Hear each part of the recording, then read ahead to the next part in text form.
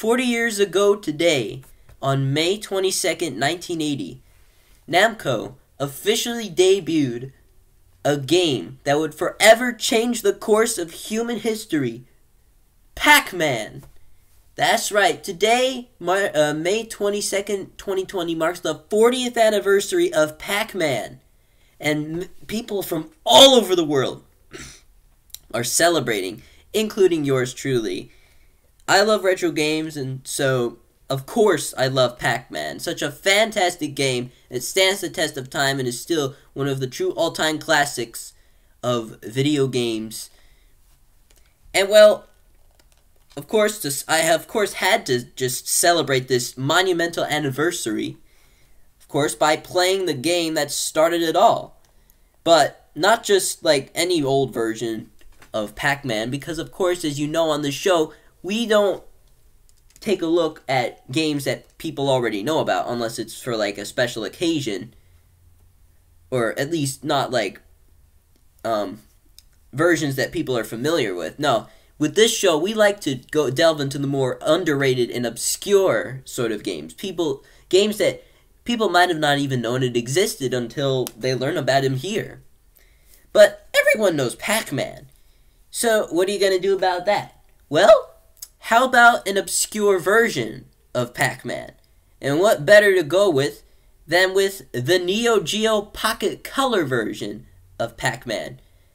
Yeah, I'm pretty sure not many people know, not many of you know about the Neo Geo Pocket Color. Well, you you probably know the Neo Geo, but for those who don't, the Neo Geo was a console made by SNK in 1990, and it was basically well, actually, it was hardware made by SNK um, it doubled at it was like there were two versions of the hardware. There was the hardware made for arcades and hardware that was a home console made for the home. Basically, they allowed you to play the same games at home that you could in the arcades with the same graphics, the same sound, same gameplay, everything, and even the same controls because the controllers were joysticks. The Neo Geo was very expensive, but it was very well praised for many of its fantastic games. And well, basically, in the late 90s, uh, SNK wanted to compete with Nintendo in the home console market, so they made their own handheld called the Neo Geo Pocket, and then later released a color variant called the Neo Geo Pocket Color, which featured color graphics. Um, um, unfortunately for them, they weren't able to compete with Nintendo because Nintendo's Game Boy had well dominated the portable market about 10 years earlier. But the Neo Geo Pocket and Pocket Color had a lot of fantastic games on it. Um, some of them were even ports of pre-existing Neo Geo games, but for the portable Neo Geo Pocket. And well, one of the amazing games, of course, is Pac-Man. So for today, to celebrate the 40th anniversary of Pac-Man, I will be playing the obscure but very awesome Neo Geo Pocket Color version of Pac-Man. Once again, I have my NES controller with me. Let's get it started, shall we?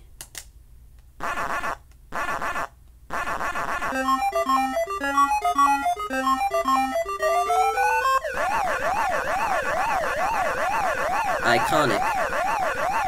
I'm gonna, basically, I'm just gonna play one game with the scrolling, and then I'm gonna do one full screen, so that you guys get to see both aspects of the game.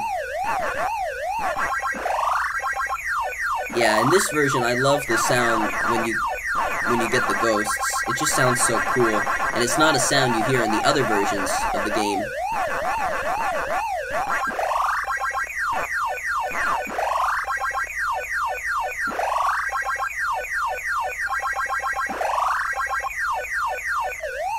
So, yeah, I'm pretty sure we're all familiar with Pac-Man. You run around the maze, you eat the dots, and you try not to get killed like I just did.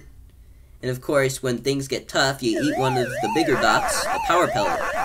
And then you just chase after the ghosts or just go along without any without any fear.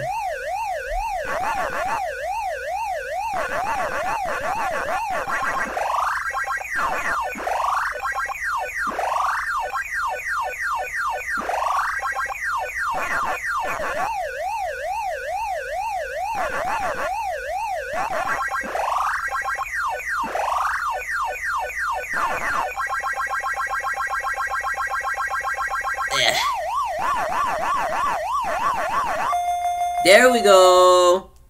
Extra life right off the bat after the first level. On to stage two with the strawberry. This is where things start to pick up speed and the ghosts start to get more aggressive. And of course, I I know a little opening pattern, so that's why I'm doing these moves the way I'm doing them.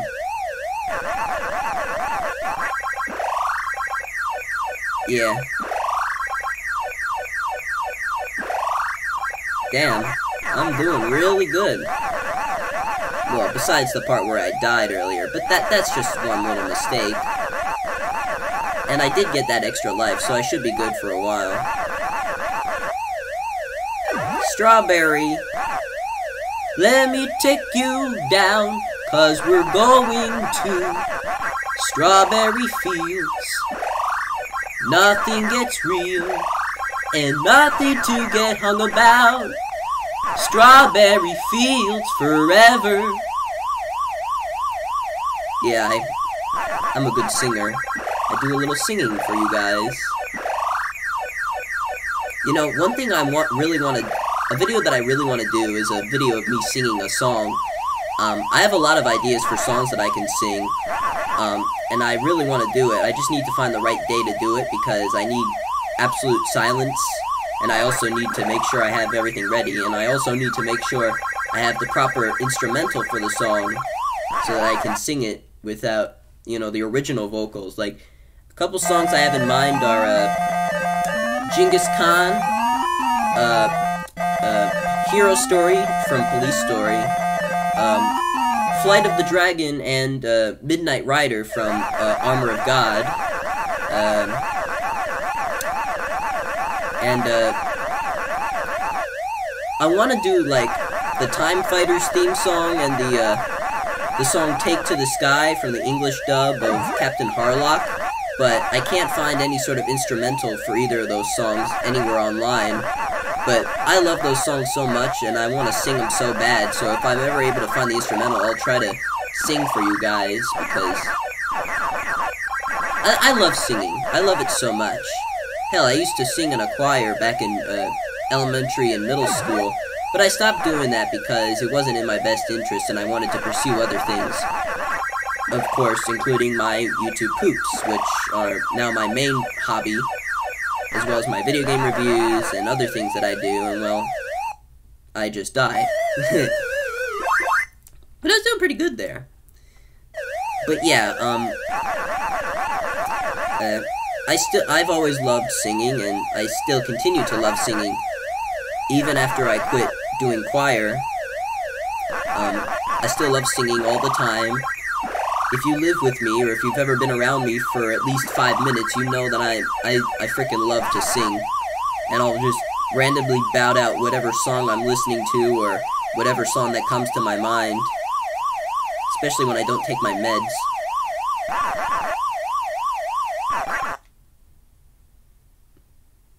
Stage 3 complete. Stage 4.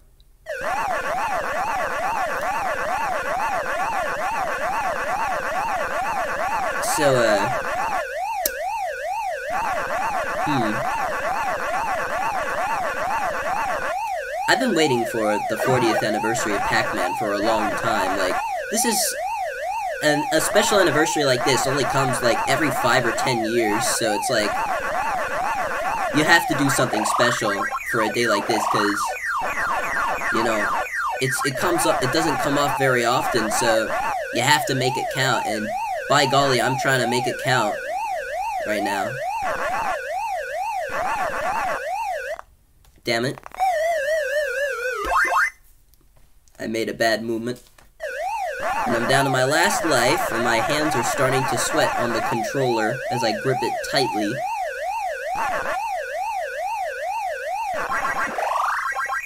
I love that sound when, when you get the ghosts in this version. It's a song that you don't hear in any of the other versions, which makes it unique. And that's kind of why I chose this version to play for this special, momentous occasion.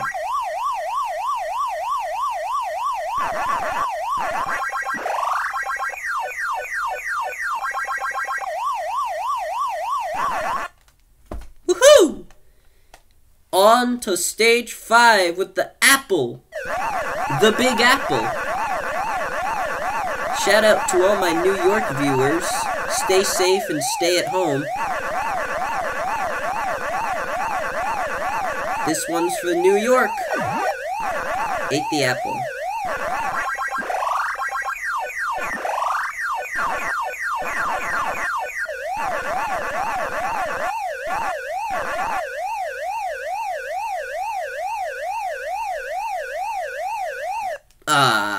Damn it, I shouldn't have... I don't like that I hesitated. But yeah, that's the uh, scrolling mode where the graphics are nice and big and beautiful, but you have you can't see the whole maze. Now we're gonna do uh, now we're gonna do the uh, full screen mode.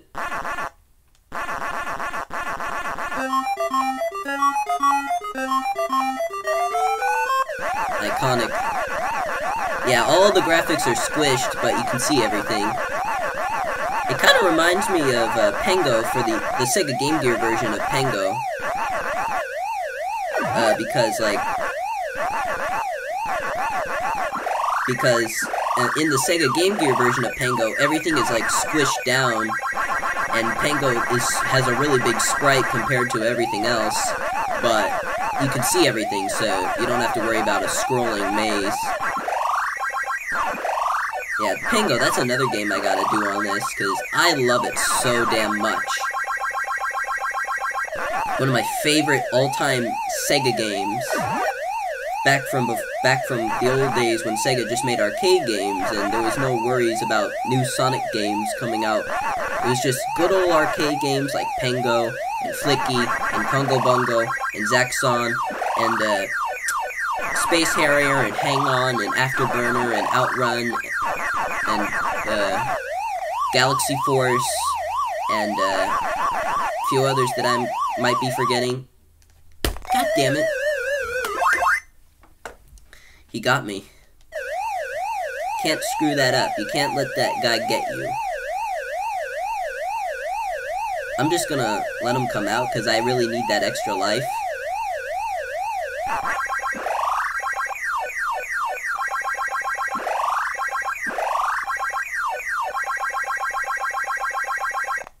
Ah, damn it. If I die here, I'm gonna do another game. I mean, I'm gonna, I mean, I'm gonna try one more time. Damn it, I should have just, whatever.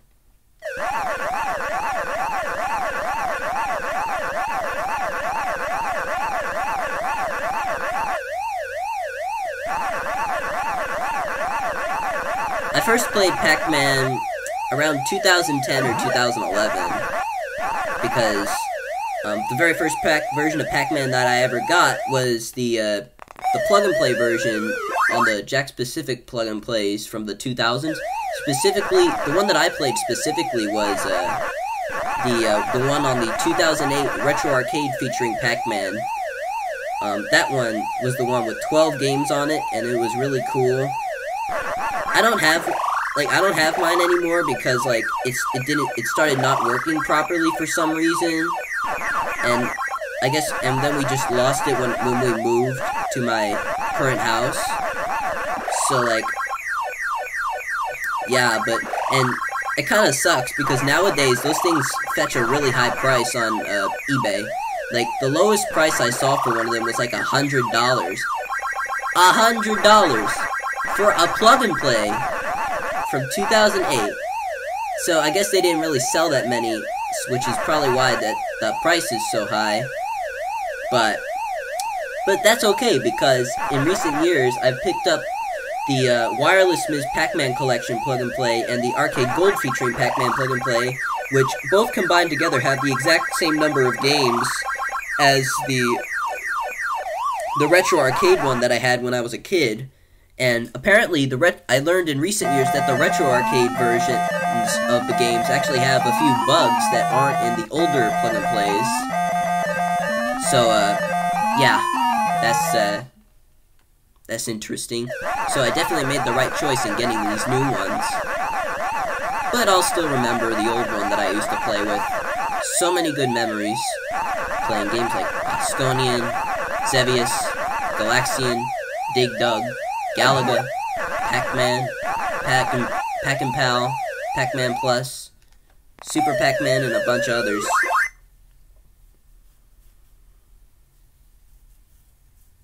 Well, I think that should be enough. Well, yeah, I, I guess uh, I guess that's all you needed to see there. But but yeah, that was a very very good, very well made port of Pac-Man. Amazing graphics, amazing sounds, and the gameplay is just as top notch as the arcade version.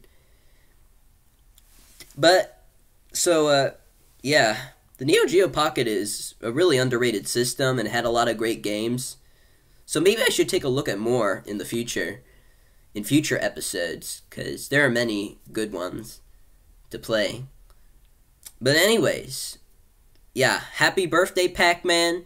Keep chomping on. It's been a great 40 years, and let's hope for another 40 more. Waka waka. So, and yeah, and you guys, I hope you enjoyed this episode of Andrew Reviews, this 40th birthday special for Pac Man. And I hope you're doing well and staying safe. And I highly encourage you guys to play a little Pac Man today in honor of this gaming icon. As I will continue to do the same after this video is over. So, until next time, I am your old pal Andrew Ambrose. And I'll Catch you later.